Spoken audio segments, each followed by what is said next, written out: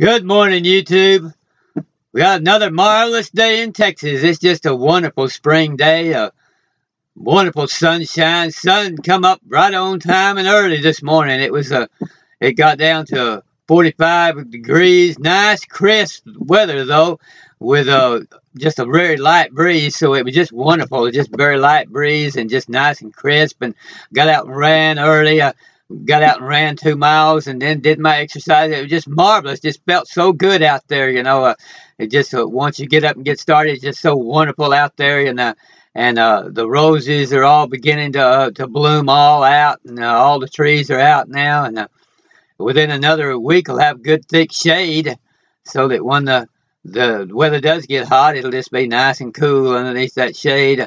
But right now, it's just a just a marvelous. Uh, uh, mar- have a marvelous good time being outside. It just it's going to get up to like uh, uh, nearly 70 today, about, about 65 today, and so that's just perfect temperature between 45 and 65. I just like it just exactly like that. I wish it was that way all year round, but I'm just so full of energy this morning, and uh, I've got uh, uh, the thoughts of infinite mind or are just flowing through me all the time, and uh, I have uh, my journals that uh, I do every every morning, and uh, as I listen to Tanya Love like I do every morning, she always has marvelous ideas and and always lift me up in great joy, and so it just keeps me with uh, uh, my journals and my uh, infinite mind meditations and listening to Tanya Love just keeps me full of energy uh, to where I can just do uh, anything that I want to do. I just feel so uh, so uh, thankful for this uh, miraculous spring we're having with this wonderful weather and for all the ideas that Infinite Mind has given me and for uh, YouTube and what that uh, all the, the marvelous teaching is going on there on uh, all the different channels and um, uh, especially this one here with uh, with Tanya Love. And uh, I know that things are just going to continue to get better and better with, with all of it and people are going to continue to raise their awareness more and more, more and be filled with more and more energy. And I can just feel all that energy all around and all that omnipotent power that God has uh, just uh, flooding over me this morning. And so I'm going to uh, really enjoy my day and I'm going to really enjoy uh, uh, everything that happens today because it's just uh, starting off so good. and I'm going to start off this morning with a a nice uh, cup of organic gold uh, Colombia roast coffee. And uh, I've got a, a, uh, a nice little uh, K-cup uh, brew cup maker, Presto MyJo, that I always use. It just it makes it one single cup of coffee, and it's just really easy to use. I mean, just real lightweight, fits in your desk drawer, and you can just you just pull it out of your desk drawer, and and it's right there, and uh, and uh, just uh, pour a cup of hot water in there and and flip your little K cup under there, and you've got a cup of a good cup of brewed coffee. Tastes just like it was brewed in the fanciest brew coffee maker there there is uh, in uh, the fanciest brew brew coffee uh, cafe. And so uh, I'm going to have that, and then I'm going to listen to little Tanya Love. She looked like she's ready to go with a with a lot of uh, inspirational things this morning like she always is. I always get started off with her every morning.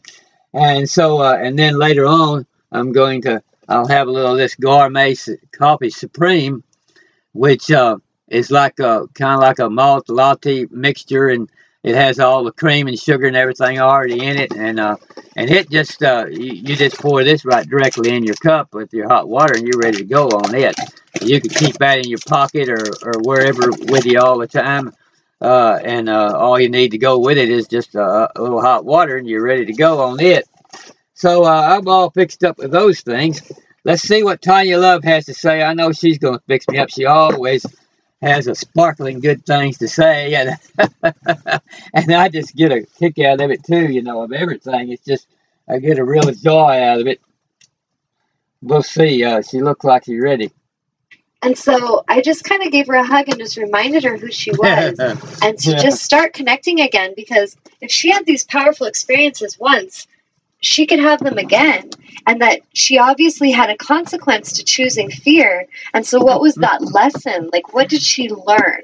And so it's never about punishment, it's always about lesson. What did we learn from that situation? Did it strengthen us? Did it weaken us? Did it cause us confusion? Did it bring us clarity? Did it bring us compassion, understanding? Everything has a lesson. And so if we as humans can just be much more gentle on ourselves and start to really have compassion for ourselves and not judge ourselves, maybe we did wrong to others, maybe we've done wrong to ourselves um, for years. It's not about all that past, it's hmm. about releasing that past. And as a healer, that's exactly what I assist clients with is helping them ah. shed that heaviness of that pain body, to shed the heaviness of that cellular memory that is sometimes conscious and oftentimes it's unconscious in them, and to clear that so that they can really come into these higher vibrational um, energies, which is where we're evolving to. And so I wanted to share that backstory because this woman obviously powerfully was channeling angels. She had a lot of amazing things happen to the point that it led her to write a couple books. And then something happened in her life that caused her to doubt, caused her fear.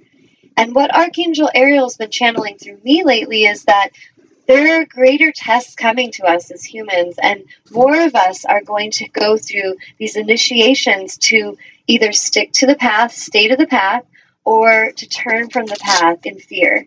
And we all have our own stuff. Everyone's got their own energies that are coming in, and it's how you're going to handle it. Are you going to remember to stay centered in love and in truth, in your alignment? Or are you going to betray yourself because of fear?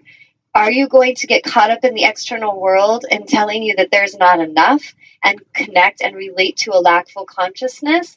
Or are you going to say enough of that and remember who you are and pull away from the external world and tune inward and feel the abundance and feel the aliveness and feel the health and wholeness into manifestation? We're literally being awakened to shift and feel our vibration to the level that we would like it to be and there's no more room for victimization on the planet as it's evolving. That once very, you know, honored and like we celebrated the victimization of things is no longer serving and it's really not helping anyone. And so her to feel bad and to kind of withhold and think she couldn't do this anymore was her own shaming. It was her own ego trying to keep her down. And what I exp- explained to her was that oftentimes what my angels have channeled through, and they're not my angels, they're our angels, but I just feel like my family, um, what they've channeled through is that often as a being is getting higher and higher in vibration, the lower vibrational energies will move in harder and harder to create pressure to try to knock that being out of alignment. So I kind of like to make references to movies a lot because movies are really powerful visual um, tools that we can use, and there's many producers and filmmakers, directors that are channeling wisdom and then creating films to help humanity awaken. And a couple of the films I love to reference are Star Wars, Harry Potter, Lord of the Rings. These these um, films are all a similar story if you really look at it. There's the light, and then there's the dark there's the low vibrational energies there's the high vibrational energies and what will humanity choose? And it really comes down like if you're watching lord of the rings it really comes down to the moment at times where one choice in a direction out of alignment could have done everyone in. And it's really getting to that place on our planet where each of us are I feel the angels are coming in so strong right now in, on our planet to help awaken the consciousness. And what they tell me is they're here to awaken the humans that are open, the ones that are listening, the ones that have suffered enough. And we have beautiful places we're going. We are ascending. We're ascending into these new realms. We are creating from a third dimension, we're going into fourth and fifth dimensional experiences and creating these realities that already really exist in another time space. And so, a lot of us in our human minds, if we're very five sensory and we're just now starting to question things, the angels want you to remember not to be too hard on yourself if you're not able to really comprehend a lot of this. If some of it just seems like out of this world and it's blowing your mind, let it be that. Instead of resisting or struggling with it, just be open to the fact that something's blowing your mind because I look at anything that blows my mind as an amazing opportunity because it's showing that I am expanding more, I'm opening more. There's always been more, I just wasn't open to it. So, you know, it's kind of like everyone for a long time thought the world was flat. And until they got more and more information and kind of opened up their um, ability to even comprehend that the oh, planet was round, they couldn't even see it. But it didn't mean it wasn't round. And so that's sort of like what's going on with our humanity, with uh, humanity's shifts in consciousness, is that we are very much being given all this higher channeled mm. information.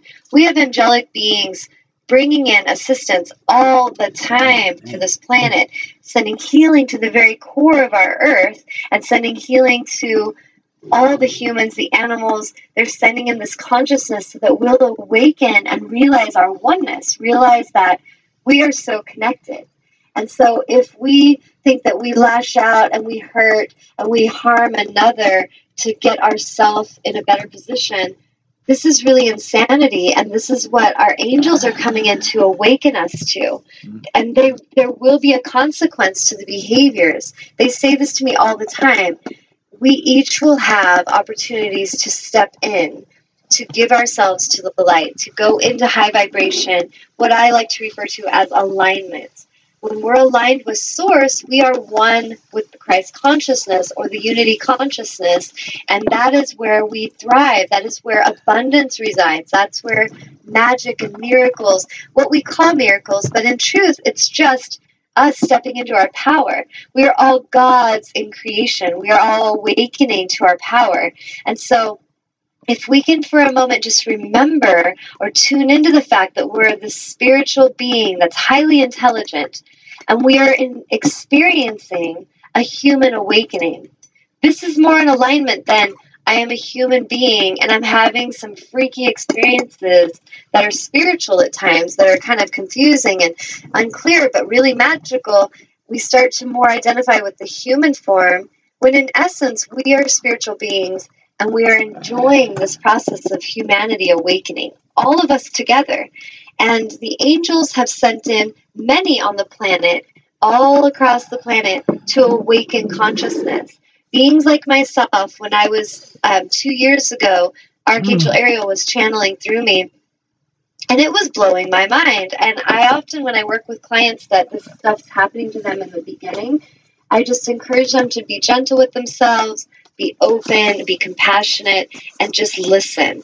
Because what you once thought you knew is now being challenged because it's no longer serving you. It's something you were clinging and attaching to, and it didn't ever mean it was truth. So we have to be really open right now at this time in our evolution to evolve without attachment, to completely be free of clinging, to what my angels say, stay in a place of great discernment at all times what one energy was one day could shift in the next day.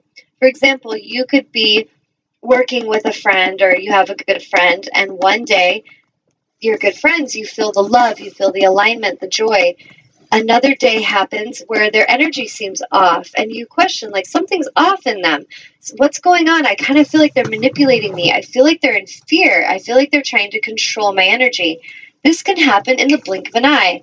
And this is what angels are teaching us is that we are vibrational beings and it's really important that we are constantly aware of the vibration of others.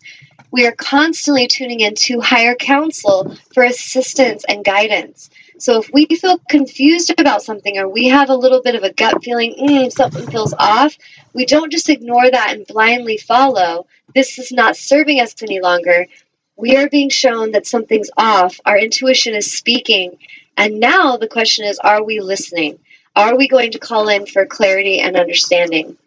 I encourage each of you to do this because as you call in that wisdom, you will be shown greater truth. You will be shown greater understanding. We are in a time of separation of the like the lower vibrations and the higher vibrations. You could say good and evil, light and dark, whatever you want to relate it to. It's really a vibrational thing. But there are those that are